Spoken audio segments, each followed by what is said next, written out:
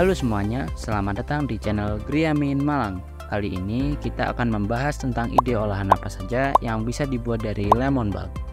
Lemon balm adalah tanaman herbal yang beraroma lemon dan memiliki banyak manfaat untuk kesehatan.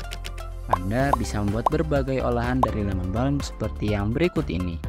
Yang pertama, ada teh lemon balm, minuman hangat yang menyegarkan dan menenangkan, terbuat dari lemon balm kering atau segar yang diseduh dengan air panas. Anda bisa menambahkan sedikit gula, madu, atau lemon sesuai selera. Yang kedua, kue lemon balm.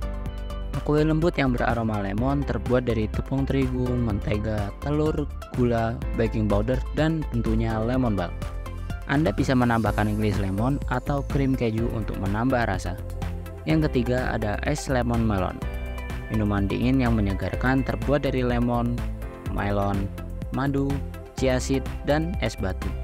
Anda bisa menambahkan lemon balm untuk memberikan aroma dan rasa yang lebih kuat. Yang keempat ada ikan dori dengan saus mentega lemon. Hidangan ikan dori yang gurih dan lezat disajikan dengan saus mentega lemon yang asam dan manis. Anda bisa menaburkan lemon balm cincang di atasnya untuk memberikan sentuhan herbal.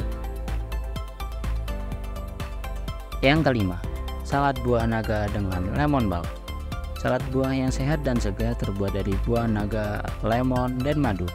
Anda bisa menambahkan lemon balm untuk memberikan aroma dan rasa yang lebih kuat. Demikian beberapa ide olahan lemon balm yang bisa Anda coba.